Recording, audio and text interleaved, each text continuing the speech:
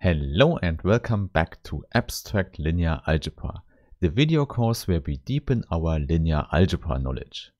And in today's part 16, we will talk about the so-called Gramian matrix, which is related to the orthogonal projection.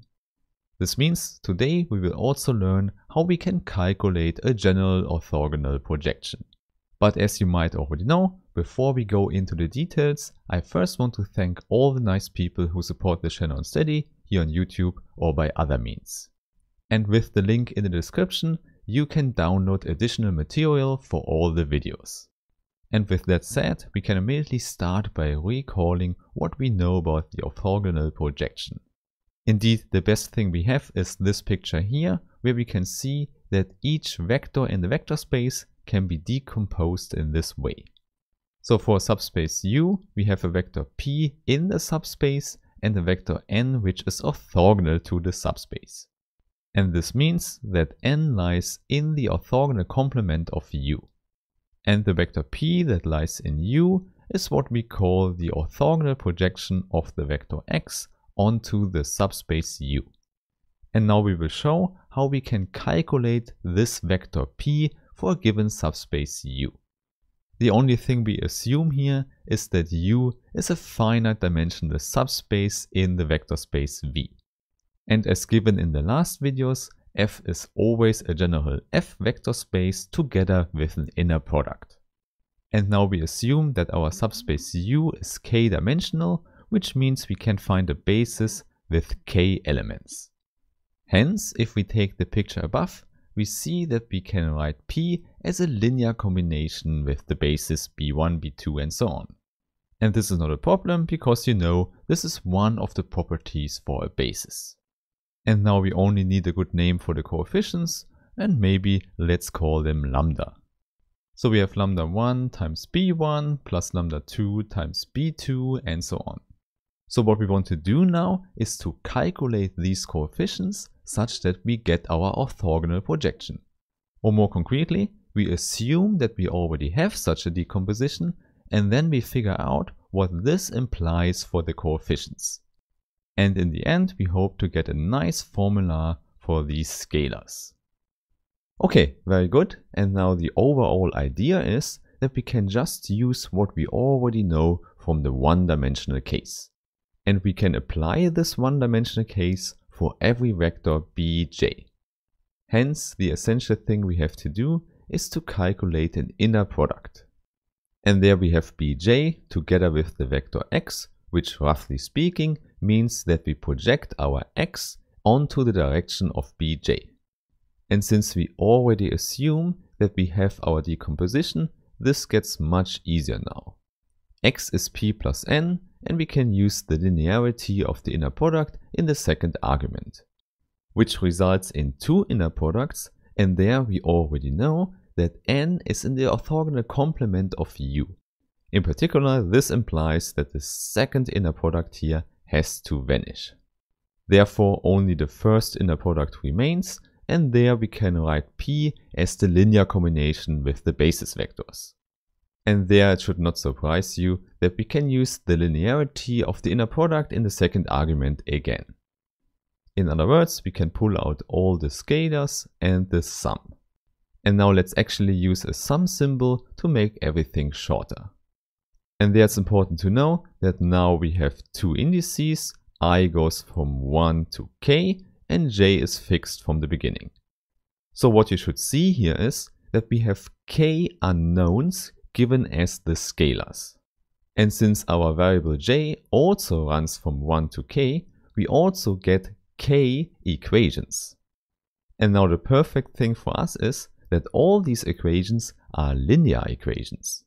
So as always in linear algebra, we can rewrite the equations with the unknowns with a matrix vector multiplication.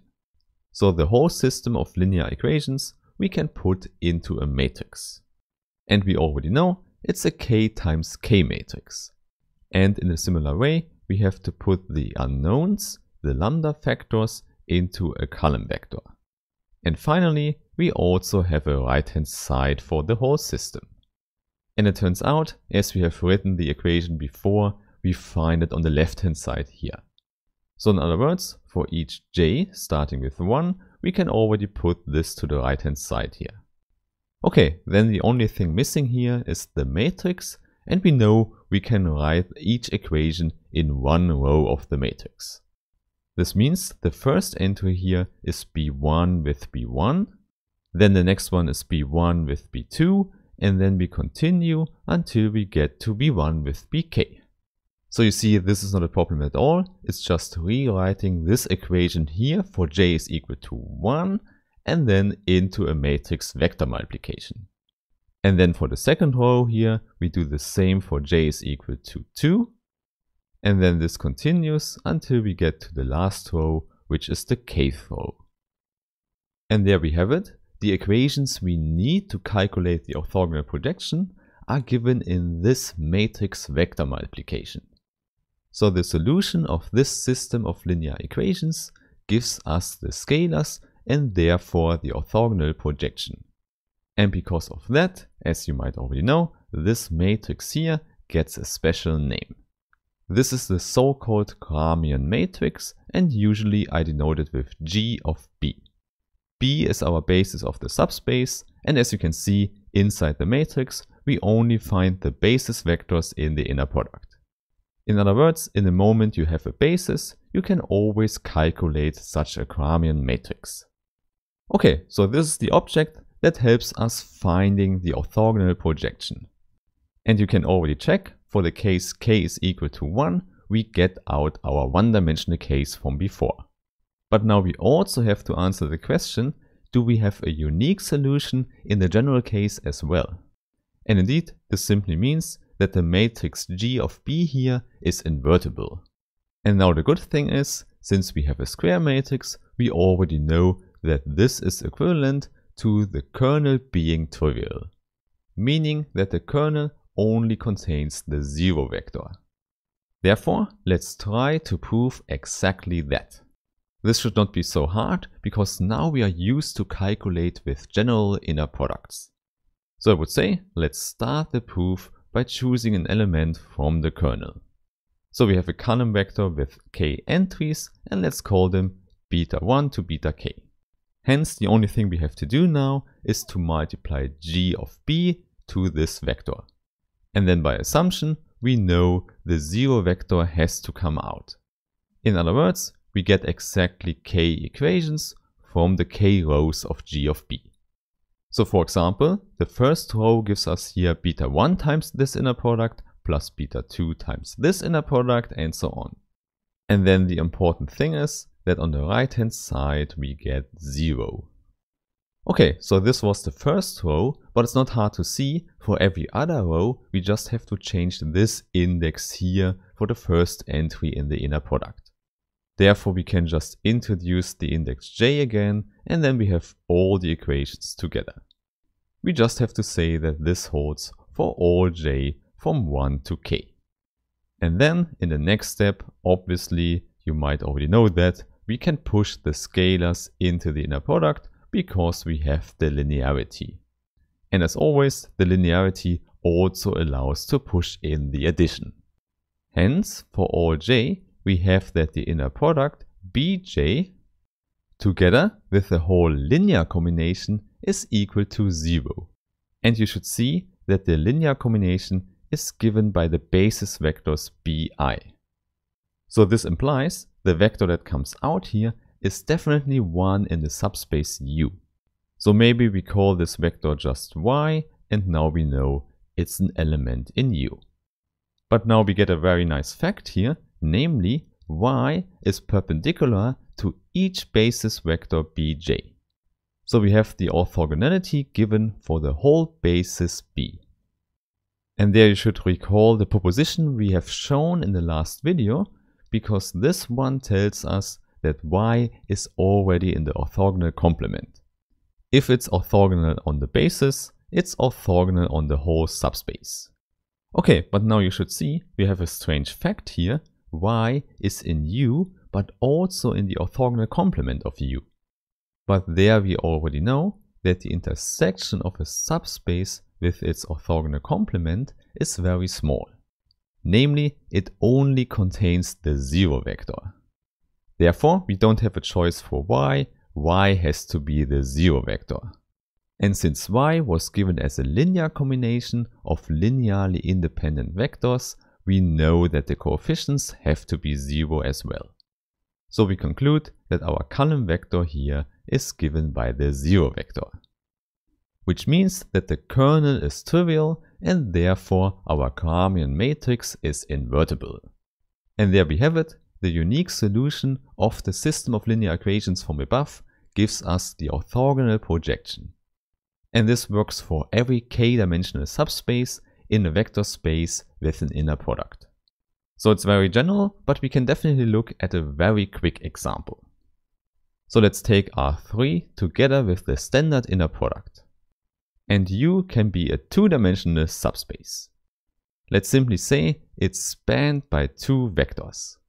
And now it should not be hard to see that they actually span the YZ plane.